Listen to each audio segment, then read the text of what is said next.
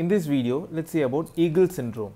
Eagle syndrome, uh, also called by the names stylohyoid syndrome, styloid syndrome, etc.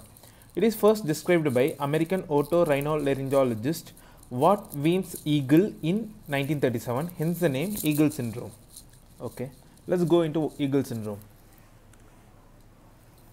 In this in this x-ray you can see it is an anterior posterior and lateral radiographs of cervical spine showing ossification of stylohyoid ligament on both the sides. You can see in the x-ray in which arrow marks indicates is the elongation of the stylohyoid process.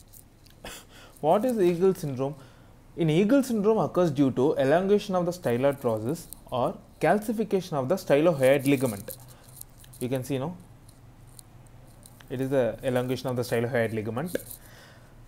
The cause of the elongation is not clear. It could occur spontaneously or could arise since birth. Usually, normally, stylohyoid process is 2.5 to 3 centimeter in length and longer than 3 cm is classified as elongated stylohyoid process and hence signs and symptoms occurs and hence it is called Eagle syndrome. The signs and symptoms in which the possible signs and symptoms includes are sharp shooting pain in the jaw, back of the throat, base of the tongue, ears, neck and face. Sensation of having a foreign object in the throat, pain from chewing, swallowing, turning the neck or touching the back of the throat. And certain other symptoms which includes difficulty in swallowing, ringing or buzzing in the ears. The classic Eagle syndrome is present on only one side, however rarely it may be present on both the sides.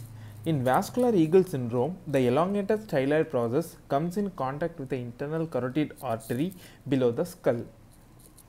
In these cases, the turning the head can cause compression of the artery or a tear inside the blood vessel which restricts blood flow and can, and can potentially lead to transient ischemic attack or stroke. Sometimes compression of the internal jugular vein can also occur and might lead to increased intracranial pressure.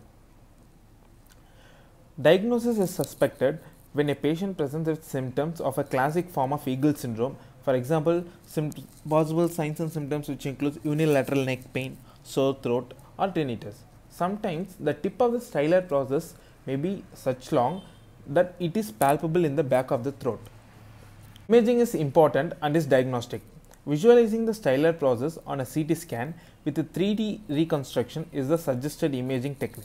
The enlarged styloid may be visible on an orthopantogram or a lateral soft tissue X-ray of the neck.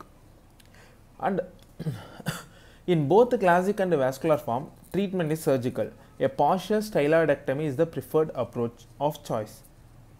And for medical management includes usually Eagle syndrome, a patient may experience severe pain. And uh, the possible we, we, we saw no certain uh, signs and symptoms.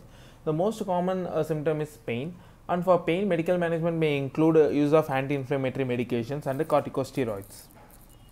Thank you.